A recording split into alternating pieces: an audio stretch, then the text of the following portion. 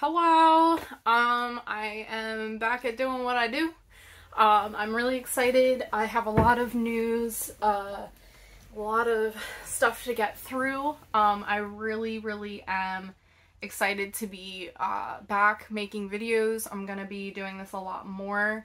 Um, I have my notes off to the side because this is kind of like a weird setup. I know that you guys can't see that, but like there's a lot going on. Um, and hopefully I will be able to have a lot more of a, you know, structure going on than what is happening right now. So this is going to be a three-part series. It's LGBT community um in in witchcraft. There was I will say before I even get started there was a lot to this topic. Like when I was looking at this, I was like, "Holy cow, it's a can of worms," you know? Like I literally dove down the rabbit hole.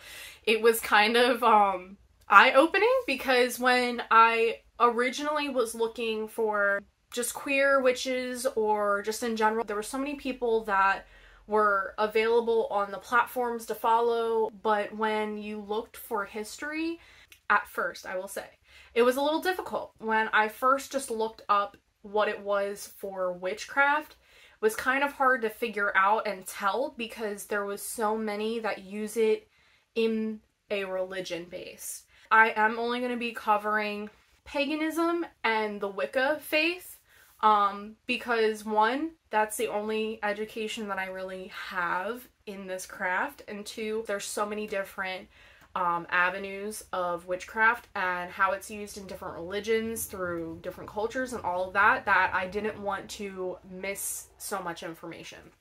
So this is going to be a three-part series.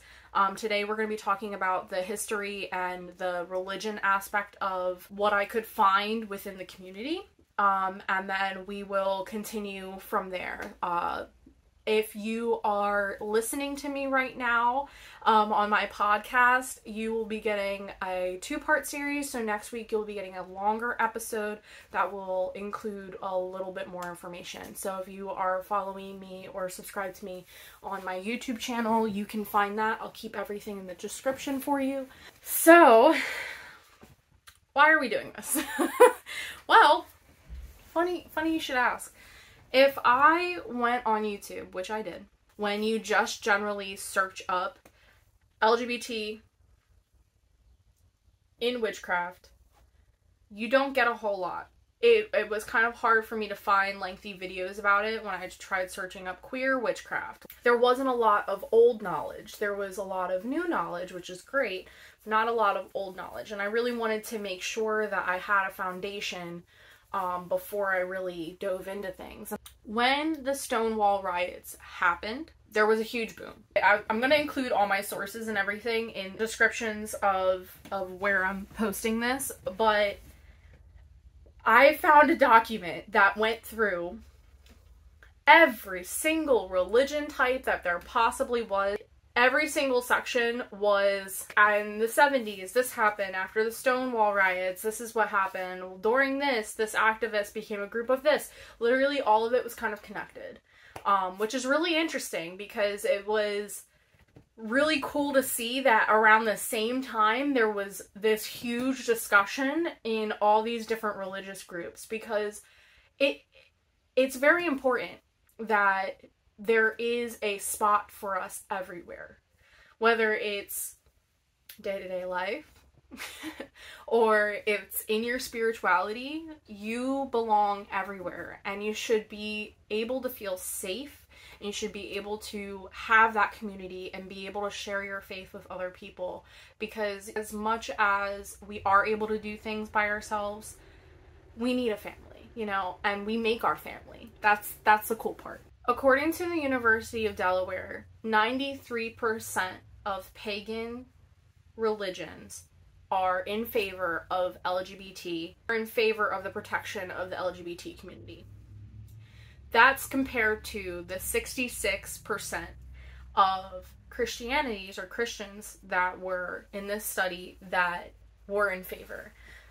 So it's really not a big surprise that there's a lot of witches fluid with their gender, with their sexuality. They're very, very open to all of this because, as we will get into, I would like to say and just kind of put it out there every single person that is born into this world has magic that flows through them. Every single person. Whether it whether whatever belief that you believe, you have that in you and because of that, it is so spectacular for people who have that fluidity, for people who have that sense of what they what they want and who they are in such a big part of just being a human, which is your sexual like outlet and your sexuality that it's amazing that queer people are able to love as freely as they are not on a political stance, but just in general, they're able to love freely. Leo Martello was a activist, an author, a Wiccan priest. He also was um, the founder of Strega Wicca, which is a branch of Wicca that focuses more of the Italian heritage and like ancestral teachings of that type of culture.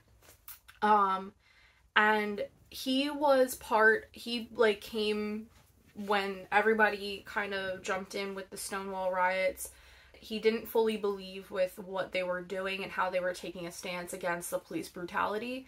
So he decided to leave and join the Gay Liberation Front, which it seems like when I did a lot more research, there was a lot of people that were that were also um, pagan or Wiccan that were in this group. So a lot of these people knew each other. They went to the same meetings, they were in the same area. There was a lot of people that founded their own kind of thing outside of it. Within that group, he wound up uh, writing articles. He had columns. He actually had a column called The Gay Witch, which was in a newspaper for the LGBT community.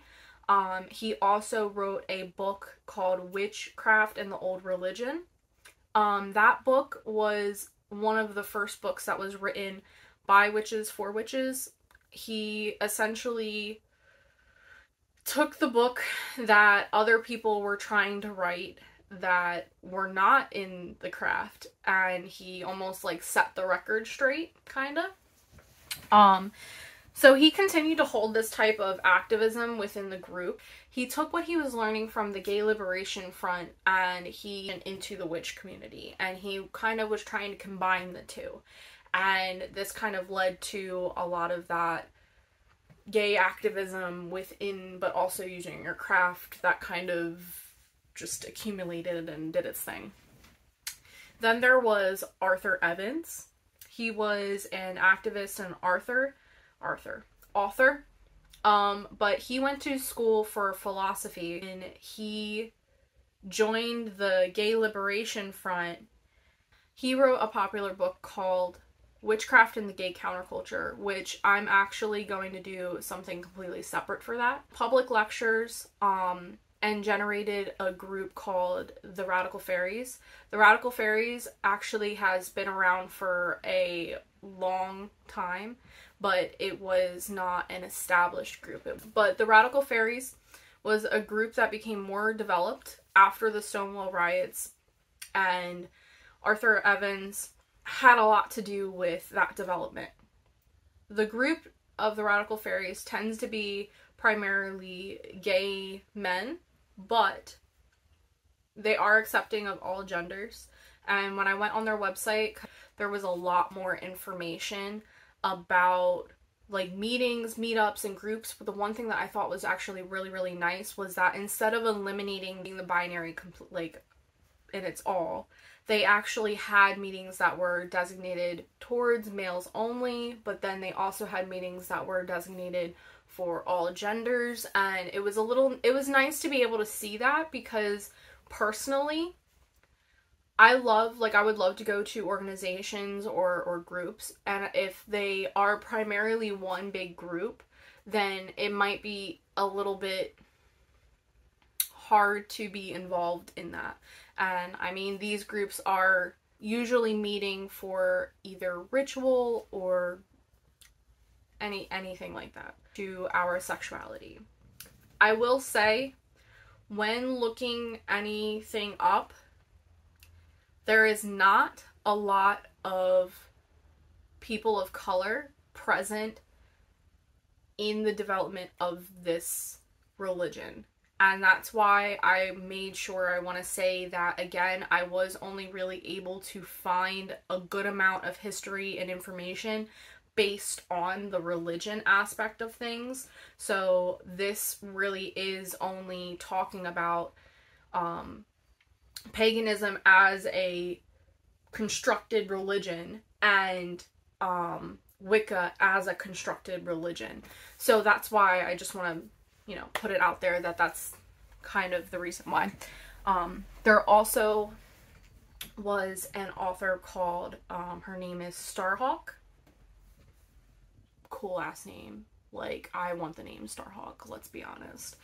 Um, but she was a eco-feminist, which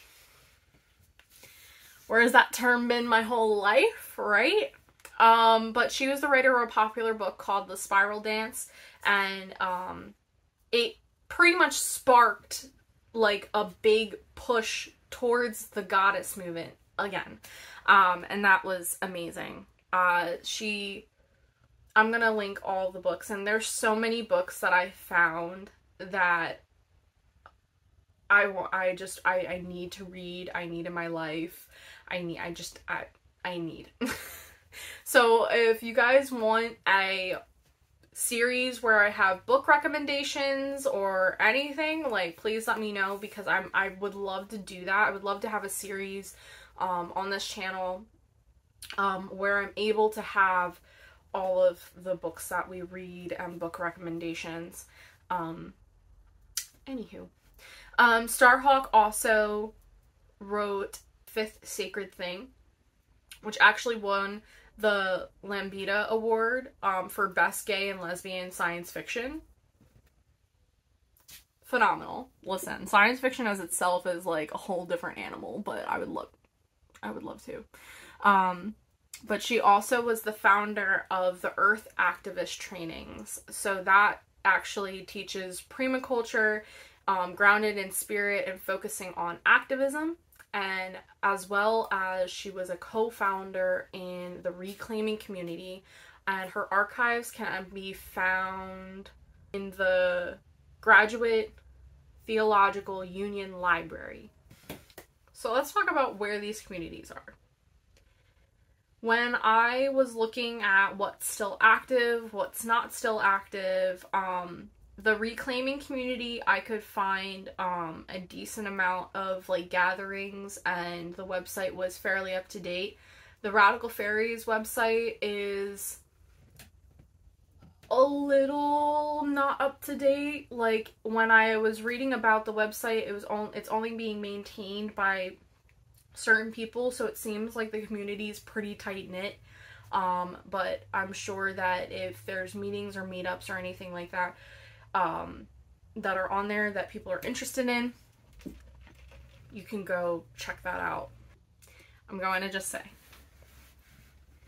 there are way too many people in this world for us to be worried about whether or not somebody loves somebody. And that's just my opinion. But as human beings, we are born into this world. We all possess magic that flows within us. We all possess the love and the light that flows throughout our bodies. And to live in a magical sense and embrace that part of us is magical. It is it is phenomenal. We are literally taking what society tells us not to do. And instead of conforming and essentially harming ourselves or worse, wind up dead, like we are embracing it and we're pushing those norms and we're making sure that we're heard. And that's what matters. And I am I am very I'm very I am trying to stay positive with the way that this world is going and it's really it's getting it's getting difficult. it's getting difficult. Every day it proves me wrong in that I should always be negative and it proves me wrong that I should stay positive, you know? We have that kind of duality combatingness. And I just want everyone to know that we all have power within ourselves to make changes happen in this world. We all have that power. And I think that's what a lot of these activists that kind of popped up, and I only covered like the three that I talked about because there are so many more. Um, Evans wound up having, um, he had a couple lovers in his lifetime, and those people were also a part of the Liberation Front and were part of the community that did their own activist work. And Martello, he continued to write columns, and Starhawk is still present now, and it, like, I'm pretty sure she runs or she continues to edit and have articles on um uh faith spiritual and faith website.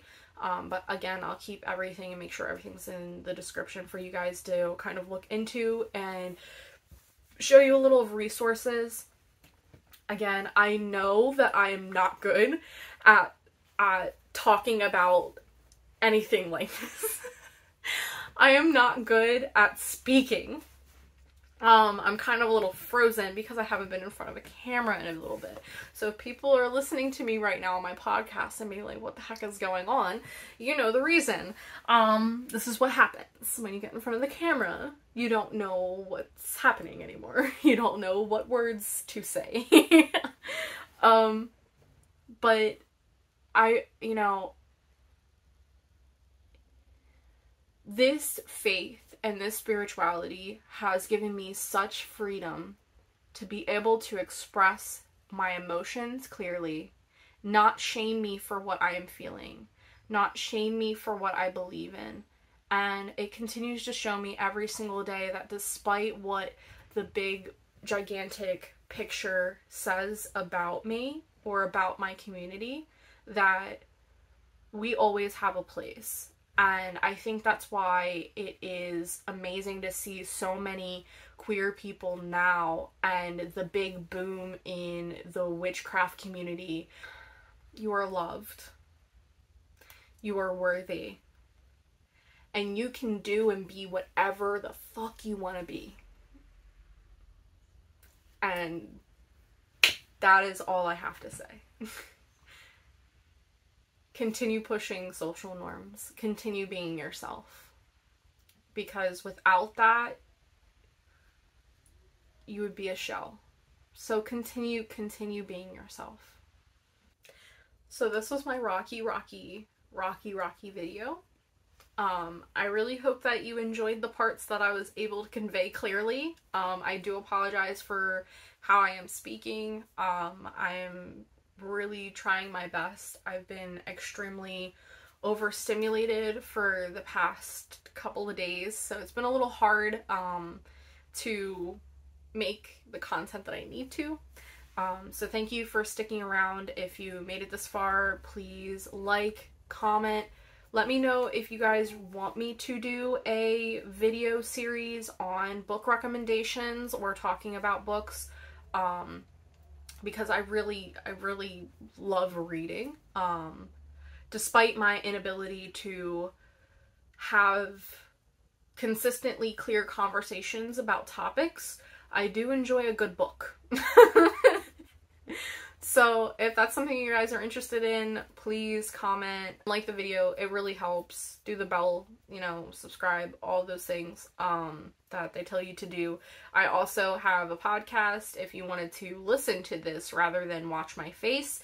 Um, you can well, uh, listen to my podcast at Honeycomb Home. It is on platforms that do the podcast things. So Google Podcasts, Apple, Spotify, you know, all the stuff. Um, and I will be seeing you very soon. And there is going to be a part two. So the next week we will be talking about gender. Um, and that I'm actually really excited about because that's where the majority of the information that I was able to find. Um, so I'm I'm actually really excited to talk about that. Um, and I felt that that was needed considering that when I was doing the research for this, there was only a lot of information about the gay community as cis white men, but it still wasn't as inclusive as it could have been, and that kind of sucks. So, next week I'll be talking about gender, which also does kind of play into that. Um, and yeah. So, I hope you guys have a wonderful day. I hope you have a wonderful week. I will see you next week and I'll continue to talk about this. Please follow me on all the socials, blah, blah, blah, blah, blah. Thank you. Bye bye.